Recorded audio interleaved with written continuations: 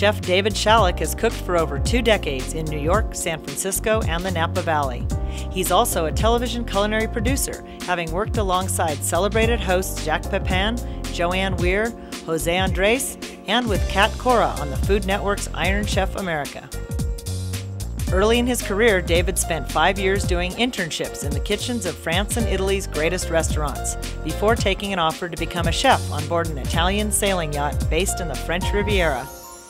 The extended trip abroad, including a handful of seasons at sea, led to the publication of David's acclaimed book, Mediterranean Summer, a culinary travel memoir with a unique view.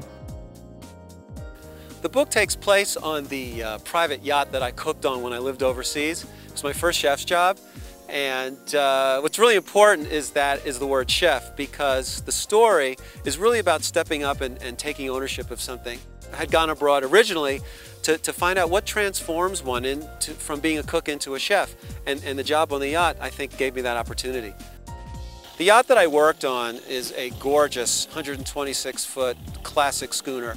She was built in 1930. The owners that I worked for had her restored uh, before our first season, so everything was shining and, and glistening.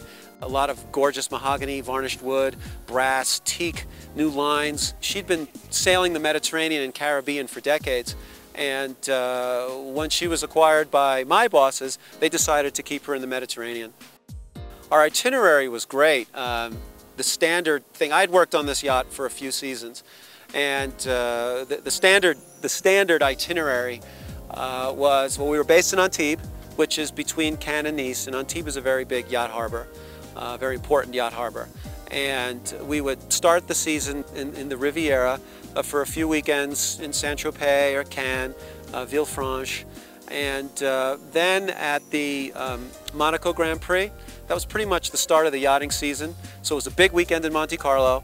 And then after that, we'd make our way every weekend, uh, we'd go into Italy and make our way down the western Italian coast, starting in Portofino and continuing um, through Liguria into Tuscany, farther south into Campania.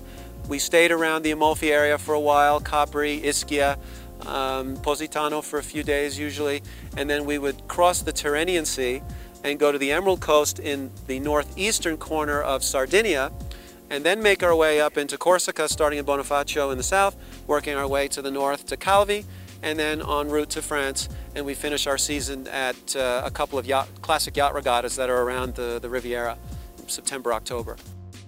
One of the greatest challenges I think I faced uh, when I was on board was given to me during the interview. Uh, the owners said to me that uh, nothing in the menus uh, throughout the whole season should be repeated. Um, the rationale being that since the boat was going to be moving a lot, the cuisine changes in every port of call, whether by region or locality. So the menus and the dishes uh, needed to reflect the indigenous offerings of every place where we were going, which was quite a wonderful challenge. Um, in addition to that, you know, here's this young cook cooking Italian food for Italians in Italy, working out of a small galley while at sea. I also had to cook for the crew. Uh, we were a crew of seven and um, I was a half deckhand, so I had a lot of responsibilities up on deck as well. So it was certainly tall order for my first chef's job.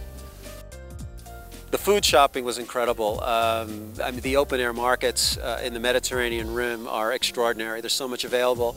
Um, there were a lot of times where we would be in France in the morning and then move the boat into Italy that afternoon uh, or early the next day. So I could, in one day, sometimes go into the open air market in Antibes and say and have a lot of bonjour monsieur and then later in the day it would be buonasera signore uh, which was kind of neat to work in two or three languages but the ingredients uh, were, were, wonderful and um, I had a, really well in the stores of the yacht which is you know the pantry the larder uh, I was pretty well stocked with all the ingredients I needed for the base of my cooking, which allowed me to find just a couple few fresh ingredients I needed when I got into the markets to fulfill my menus. And a lot of times, um, I didn't even really write the menus till I got into the markets. The market told me um, what, I, what I needed to make be, from what was available, what was in abundance, what looked great. So it was a really, really interesting way to work and, and a dream for many cooks. So, you know, it took, it took a long time to understand simplicity with food. And as you develop a, your, your, palate and, and maybe the, the foundation of a repertoire, you know, sometimes the ingredient has enough going for it that even doing something to it might take away from it. So you start to put it together and say, maybe I shouldn't be doing anything. And now the food becomes simpler and simpler, and, that, and that's how you really see how this is an ingredient-driven style of cooking. Basically, what you end up having is the Mediterranean diet. And we talk about this paradox a lot, you know, this, you know, this, this French way of being and eating. Why is it so different and why are they so thin? And, and the Italians and the Spanish. But, you know, to me, there really isn't a paradox. It's more about, you know, it's an attitude, it's a mindset, a lifestyle. And, and I feel that once you conform into that and you're being that way, it, it's really not much of an effort. Um, and, and, it's, it, and it's good for you. As I got more proficient in the language, you know, I'd, I'd eavesdrop on people all the time. And food seemed to be the number one topic. Uh, whether I was uh, on a tram, uh, in a bus, in trains, in train stations, um, talking to my coworkers at some of the restaurants where I worked, chefs, you know, it was always about food, you know, what we're going to make, what we, we had, what to look forward to, time of year, a season, a festival, a tradition, um, one person's way of doing something versus another, on and on and on and on and on.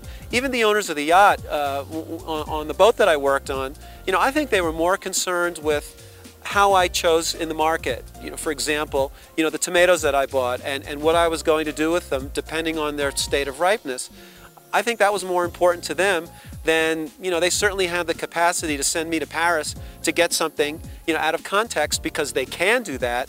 But um, it wasn't like that, and I started to put the pieces together and realize that you know this is a way of eating and an approach to food and life that's for everybody. You know the table's horizontal; it's not a hierarchy, and so you know words like foodie don't really exist. I mean, you might as well say everybody's a foodie. To find out more about David's book and Mediterranean Summer, visit MediterraneanSummer.com.